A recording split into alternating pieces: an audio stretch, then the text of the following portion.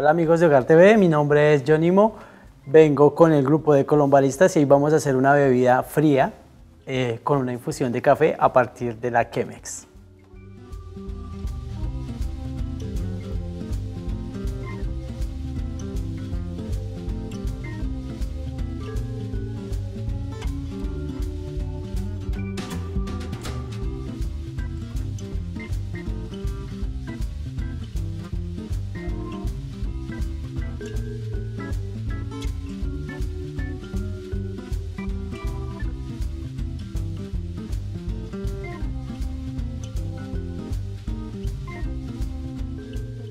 Bien, pues vamos a empezar a hacer nuestra preparación. Eh, necesitamos pues una Chemex, aunque ya lo teníamos predispuesto. Este es un método de infusión especial para el café. Como podemos ver hay un filtro de papel, el cual tenemos que hacerle un doblez especial para poder pues eh, empezar a iniciar a hacer nuestra preparación. Es muy sencillo, lo primero, eh, acá tenemos pues una hojita, estos filtros los encuentran en los almacenes de cadena y la Chemex puede ser reemplazada por una jarra que tenga la forma pues cónica en caso tal de que no la tengan en casa. Iniciamos doblando el filtro, esta parte, esta parte circular del filtro la vamos a doblar hacia adentro, luego vamos a eh, hacerle un doblez por la mitad, cosa que quede el triángulo y que nuestro círculo que doblamos primeramente nos quede por fuera. Luego le hacemos un segundo doblez de tal manera que nos quede un triángulo. Y ya tenemos nuestra primera parte para empezar nuestra Chemex. Aquí hay una punta que sale de ella, ¿sí? En, en, su diseño. Entonces la parte más gruesa de nuestro filtro, donde están todos los dobleces, la vamos a dejar mirando aquel pico. Y listo, esa es nuestra primera parte para iniciar nuestro proceso de filtrado. Tenemos un café de Biotá, ¿sí? Altura 1700, viene con notas muy achocolatadas, un café muy bueno, excelso, de Colombia. Somos el país número uno en cafés suaves del mundo. Entonces vamos a aprovechar el buen café que tenemos aquí en Colombia y en Biotá, Dinamarca. Agua caliente y iniciamos. Primeramente vamos a limpiar nuestro filtro para quitar todos los sabores de papel que puedan haber en él. El café es un grano absórbico, por lo tanto el toma todos los olores o sabores que estén a su alrededor y esto es lo que no queremos que quede en la taza, ¿verdad? Además que después de que limpiamos nuestro filtro de papel también estamos dando un choque térmico a nuestra Chemex para que el café no se maltrate tanto y al mismo tiempo limpiamos nuestra taza. Vamos a sacar esos residuos de papel. Aquí vamos a hacer un accidente, vamos a retirar un momento nuestro filtro para poder colocar el hielo en nuestra quemes, puesto que esto que vamos a hacer es una bebida fría. Tenemos nuestro shaker, retiramos todos los residuos de agua que puedan haber antes de colocar el hielo y luego pues lo vamos a colocar con suavidad. Podemos hacerlo de esa manera o podemos utilizar nuestro eh, embudo que permite que ingrese el hielo con más suavidad. Tenemos cubos gruesos. Eso también permite que no maltratemos tanto nuestra Chemex, ¿sí? Aunque esto está muy grueso, bueno, vamos a hacer una cortura acá. Perfecto. Ya tenemos nuestro hielo. Vamos a colocar nuestro zumo de naranja. Homogenizamos un poco. Luego vamos nuevamente a colocar nuestro filtro de papel. Recuerden que la parte más gruesa va en el pico. Y vamos a aumentar otro poco para sellar las paredes de la Chemex y que no se nos vaya a escapar fugas de aire cuando coloquemos nuestro café. Perfecto. Empezamos con nuestro café de biota. vamos a invertir. El embudo es muy práctico, nos ayuda a que no se salga los residuos de café por algún lado y que no tengamos muchos regueros. Y empezamos con nuestra infusión. Vamos a prender nuestra, taramos de tal manera de que quede en ceros y, vamos a utilizar unos ratios de café, pues depende, para la casa sería por cada cucharadita de café una taza eh, normal de tinto, digámoslo así, como lo llamamos los colombianos.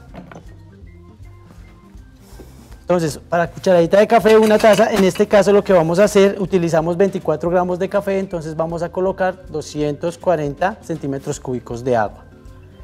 Y vamos a hacer una preinfusión. Los baristas a esto le decimos bloom, que es colocar el doble de la cantidad de agua por la cantidad de café inicial para que el café pueda respirar y vamos a esperar 36 segundos para que él empiece a eh, mostrarnos todos sus atributos aromáticos, todas estas aromas que él cogió de su, de su variedad, en este caso estamos manejando una variedad em, castillo. Les, reitero que estamos haciéndolo a una altura de 1700, que es una altura ideal para eh, sembrar café de especialidad. Y este café viene del municipio de Biotá en Cundinamarca.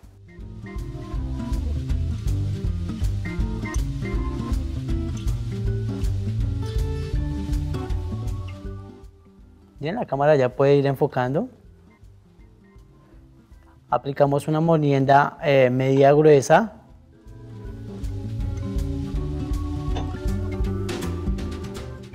Y eh, pues en la cantidad de agua total eh, para nuestra infusión tienen que ser los 220. Abajo pues estamos sumando la cantidad de agua ya para contacto con el café. No hay que restarle en este caso porque la cantidad de inyección de agua que le aplicamos al café es la que necesitamos para que él nos dé esos atributos y que choque con el zumo de mandarina. Más o menos tardamos 4 minutos en una infusión con Chemex, ¿sí? Eh, para otros métodos pues eh, varía dependiendo de la molienda que se les aplique, dependiendo del café, eh, su, genética. Eh, así podemos notar pues qué atributos queremos sacar de cada café, de dónde viene, qué tipo de planta es.